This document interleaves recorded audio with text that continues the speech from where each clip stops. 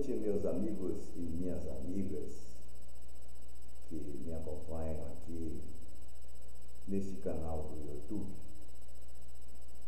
São 21 horas e 20 minutos, diretamente aqui do estado de Minas Gerais. E o Galo empatou. E Gostaria que a partir desse momento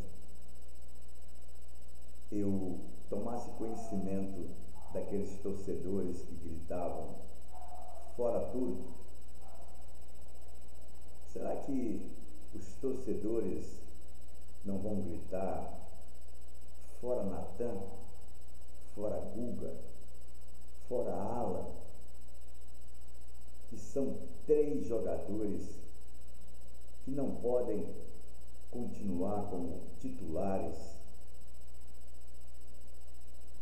do Galo.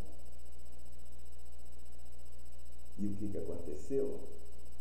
Um primeiro tempo muito bom, e aí esses jogadores, depois de 1 a 0, começaram a relaxar dentro de campo. É, o Alan voltou com aquele toque-toque dele, com aquela canhota dele, e que tem uma porção de fãs, né? não rende nada. E chegou o segundo tempo, não tinha o que mudar. Acredite-se que eles deveriam ter repensado que 1 a 0 não, não dava o resultado certo para chegar aos 90 minutos, ou 95 minutos, como queira. E veio a, a cotovelada do senhor Natan, que, é, que demonstra fraqueza depois que assinou um pouco né, salário com o Galo, tanto por baixo como por cima. E aí a gente espera que o Jamerson venha e ocupe a vaga do Natan, e coloque o Natan, ou o Galo empreste o Natan, de novo lá para o Atlético Goianiense. E o Guga, pelo amor de Deus, é muito fraco. Muito fraco. Nem para o banco de reserva ele, ele, ele serve. Eu não sei por que, que o Galo ainda continua com o Guga. Passou do tempo de aprender a jogar bola. E o Alan é exatamente aquilo, né? uma total irresponsabilidade num jogo que estava bom para o Galo. Foi lá dar cabeçada no, no adversário e ele não ignora que existe agora o VAR.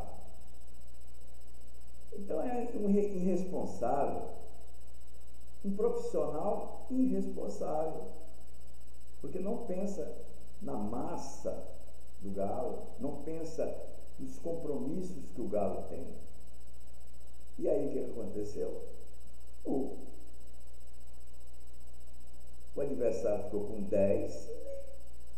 Claro, é muito difícil você numa Libertadores, inclusive esse Emelec, na Libertadores, só perdeu duas vezes e perdeu para o Palmeiras.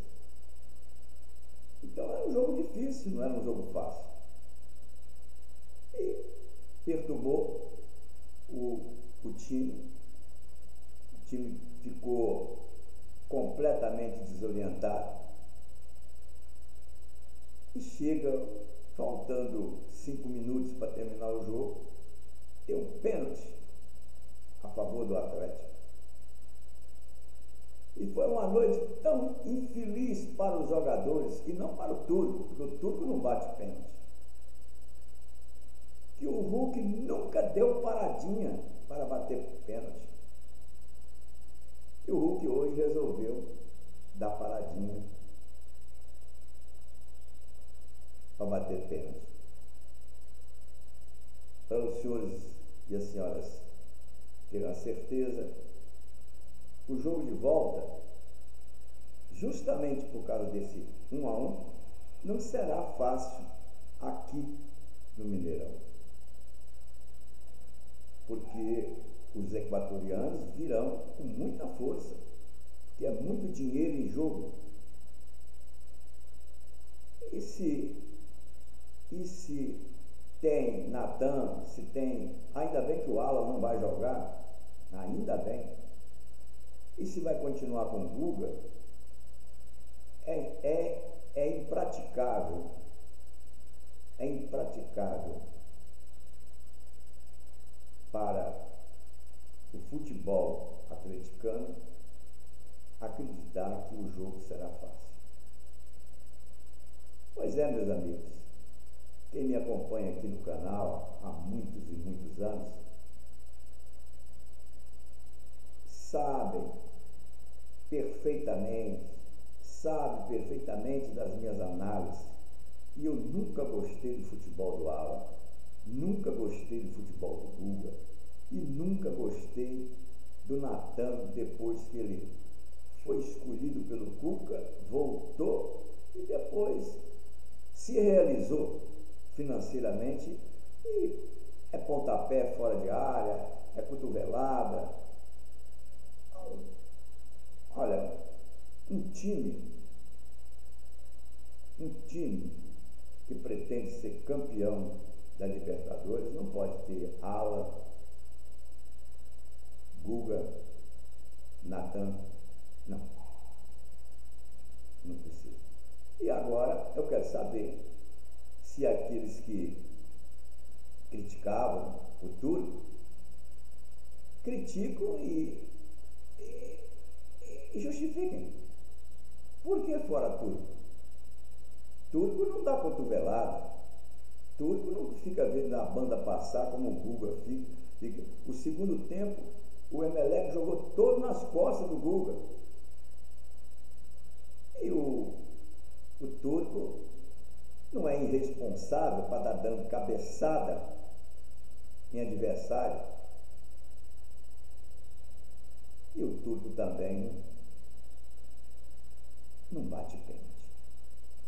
Ah, o senhor que não me conhece, e a senhora também, eu sou Levi Lafetá, jornalista, bacharel em Direito, administrador de empresas, escritor, radialista e olha, general manager em futebol. Então quem fala aqui não é gato. E se porventura alguém duvidar do meu trabalho no futebol, basta acessar o blog Birro Esportif Lafetá. Boa noite e fora quem? eu vou querer saber fora quem aquele torcedor vai gritar.